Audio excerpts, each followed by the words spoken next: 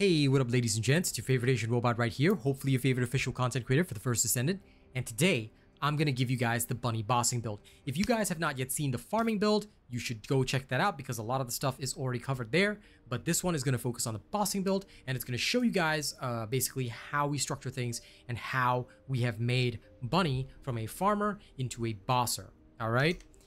Here we go. Now, this is the build we've been working on for weeks. We've optimized, changed certain things, and adjusted it so that it'll be just perfect. You can see that uh, both the bossing and the farming builds are capable of being switched around. Now, this will actually change in future when we can have individual sockets, therefore allowing for even more damage in future.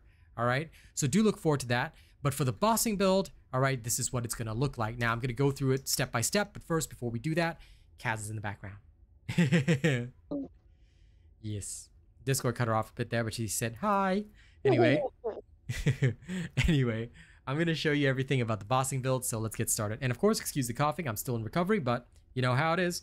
And for those that are wondering, yes, I'm okay. The doctor said I'm fine, but honestly, because of my weak lungs, my cough will take four to five weeks to heal. So there you go. Okay. Reactor, I'm still using the same one, Secret Garden, with electric singular uh, skill power boost ratio. I've also got a gold electric skill power boost. Now, if I could get a 0.085, this would be even better, but oh well. And skill critical hit damage at gold as well. All right, for my auxiliary components, I like to use a two set of the Supernova memory. Um, Slayer's four set is great and of course offers the most damage increase, but realistically, I just don't like the Slayer set.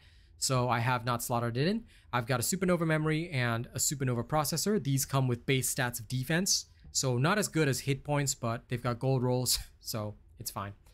Excuse me. Now, for my HP auxiliary support, I've got a double HP roll, and for my HP support sensor, I've got a max HP, max MP roll. If you really, really want to, you can get one that has um, MP recovery in combat as well. Uh, I found that it doesn't really help as much for Bunny, but if you want to use it, you absolutely can. All right, so I'll just demonstrate with this on. Okay, but I generally have the consumable drop rate increase because I'm using Bunny most of the time elsewhere for farming, and I like getting consumables. Okay, so that basically covers the reactor and external components. Now, weapons will be covered separately in their own build guides. I'm sorry, the Python is coming very soon. Okay, and the rest of the weapons will follow as well. Um, for the bossing build, let's get into the modules right now. Okay, I'm going to show you a couple things that is important first. We're going to go through that, and then I'm going to explain the build. You will see very little difference between this build and the farming build. They're literally interchangeable, and I've done the catalyst slots in that way so that you need the farming, go for the farming. You need the bossing, you can just switch over. One tab, that's it. Now your damage is going to be a bit lower than a dedicated bossing build, but it's still pretty good, and I've had no trouble overcoming those things. Okay? So, here's what I have, all right? First and foremost, what you need to understand is how high voltage works. High voltage is the crux of this whole thing, but when you look at your basic lightning emission skill, it only has a skill power modifier at baseline of 148.7%. Slap high voltage on, and this, all right, lightning emission will transform into the high voltage version of lightning emission. This one at baseline has 250.5% skill power modifier. This drastically changes how much damage you can deal. It also has a better range and a very different cooldown, all right? The cooldown in the initial version is 30 seconds, all right, with the duration lasting 20 seconds. The high voltage version has a cooldown of 22 seconds, all right? So it transforms that. It does have a slightly higher electricity cost, but high voltage is excellent. So you want that. Now, that is the most important thing. You have to realize that it has a higher skill power modifier, which means you deal more damage naturally, okay? High voltage lightning emission hits three targets. Okay, it doesn't pulse a ring anymore. It just zaps three targets, all right, with a single bolt of electricity. So it's very much better for single target. Now, when it comes to your damage, right, most of your damage is going to come from electric specialists, giving you 8.81.2% bonus to your electric skill power. You've also got spear and shield, which because this one's modifier is way above the 160% breakpoint, your spear and shield will give you more than iron defense. Okay, so spear and shield is used here. Now, the other thing that's important in this build is you want to make sure that the duration of this thing lasts just enough so that the cooldown and duration are almost synced up. Now, I have chosen to do away with Nimble Fingers because it is not necessary in this build. Instead, if you just use Battle of Stamina, sure, it's not as good as HP amplification in terms of the max HP that you get, but the duration of this goes from 20 seconds to 21.8 seconds, meaning you've only got a 0.2 second downtime on your lightning emission. Okay, so this is pretty much how it goes. Now, for your other mods, max increased HP is right here, so you already know about that. Skill expansion stays in the build. Um, technically, some of the more glass cannon builds take out skill expansion to go for even more crit rate and even more crit damage, which I do not disagree with. All right, it's just that I don't like the base range on this. The base range of 9 meters when I'm spinning around the uh, target was difficult to work with. So I felt that skill expansion was still necessary, although it does reduce the potential overall damage. You can hit insanely hard if you take out skill expansion and shove in both front lines and uh, what's the one? Emergency measures. See, both of these can be equipped along with skill insight and skill concentration. You level them all up, you know, with the right slots and bada bing, bada boom, you've got the most insane bossing build. But your base range will go down to, you know, if I were to save this right now, my base range would go down to the 9 meters, which is not exactly good. So, for that reason, skill expansion, ta-da-da, saves me, all right? this is what really helps me, uh, you know, spin around while still being efficient with the damage. Okay. Um, skill insight and skill concentration are absolutely necessary here because you will deal your most damage when you crit. Okay. Being able to crit with this particular build, excuse me, just to show you guys, the crit multiplier is 3.445 times. So you're dealing 3.4 times damage whenever you crit. You crit with a 22.3% crit rate. All right. And you can push this even higher if I were to upgrade front lines. But again, uh, I can't quite do that right now because the they haven't yet implemented the different catalyst slots for different builds. So in order to not ruin my farming build, I sort of have this setup going instead. Okay. Now, the other thing that I'll explain is Singular Specialist. Why not focus on Singular? Because focus on Singular um, has a skill power modifier of 68.2%.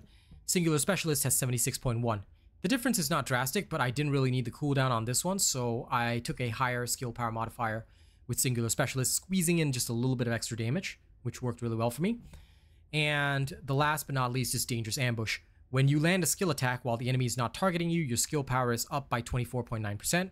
On a skill attack against an immobilized enemy, the skill power is 49.8%.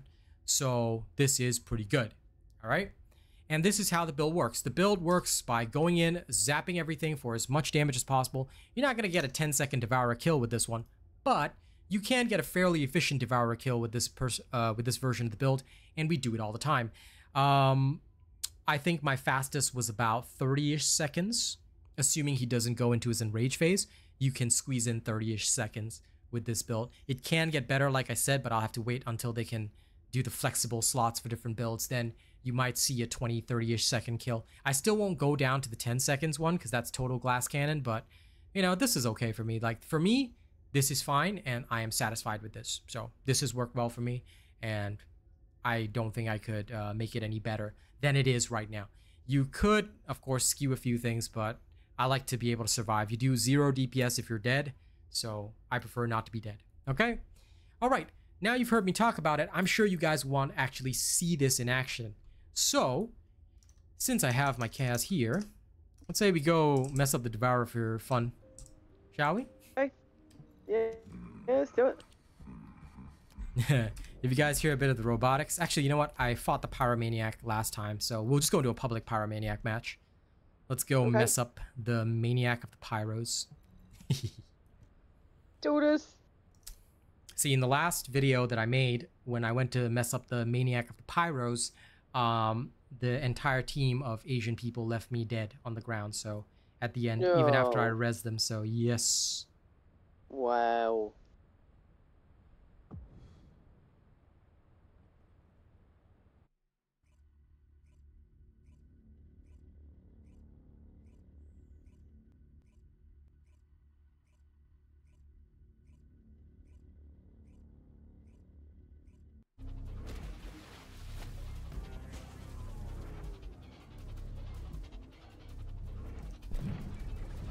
Okay, here we go.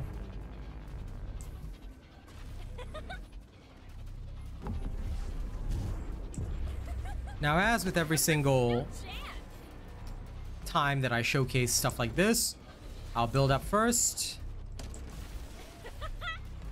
And then... Aw. There we go. Much better.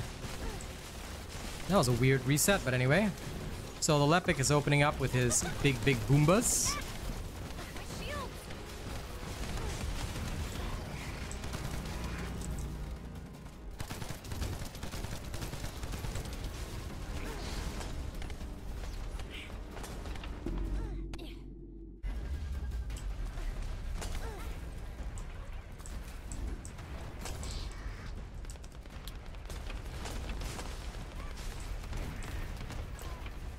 I felt I wasn't watching where I was going and walked right smack bang into the chain. That's okay. Oh, the other guys got you.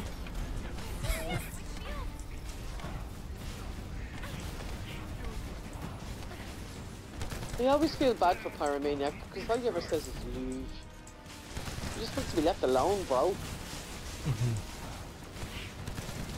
I'm pretty sure that Pyromaniac's one of the most violent colossi out there. So, Yeah, because to be left alone, bro. You over here bothering him. I mean, sure. I mean, his stuff has to be stolen, you know? That's how it is.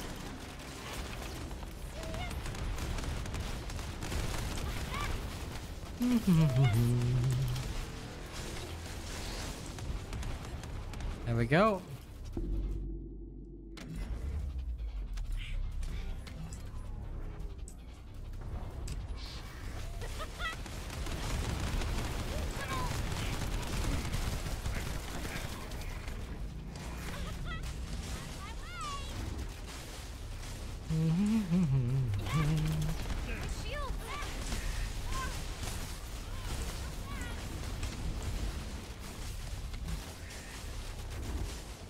No, no, no. Don't touch Don't target me. Okay, target me then. Lol, they got you. Yeah. Playing hopscotch.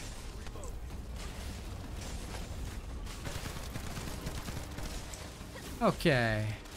Now we have happy, happy fun times. Whee!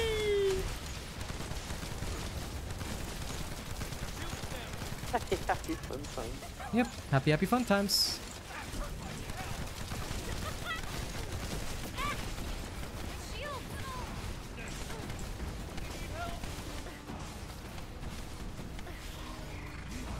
Lapu Lapu also in the middle of happy, happy fun times right there. Yeah.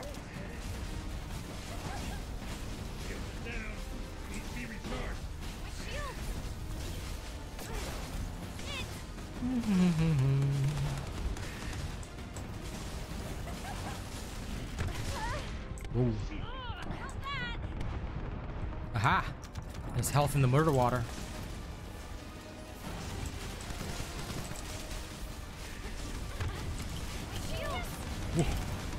Darn, that wasn't very smart.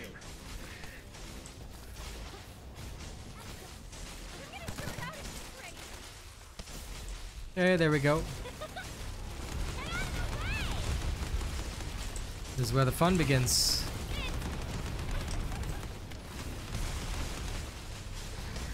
As long as he ain't targeting me.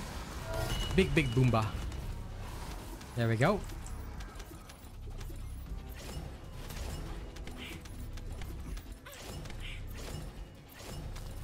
So that's the happy, happy fun times right there.